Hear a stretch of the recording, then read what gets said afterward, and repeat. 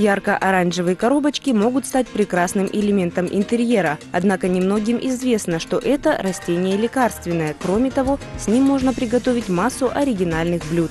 Физалис – растение рода посленовых. Все его части содержат множество биологически активных веществ. В плодах углеводы, сахара, пектины, органические кислоты, в том числе аскорбиновое и дубильные вещества. В листьях содержатся каротиноиды, эфиры, стероиды, фенолкарболовые кислоты и флавоноиды. В корнях обнаружены алкалоиды, а в семенах – жирные масла. Свежие ягоды и сок из них применяют при заболеваниях дыхательных путей, гипертонической болезни и дерматозах. Водный настой или отвар плодов применяют при бронхитах, отеках, подагре, а при ревматизме и ушибах эффективны компрессы.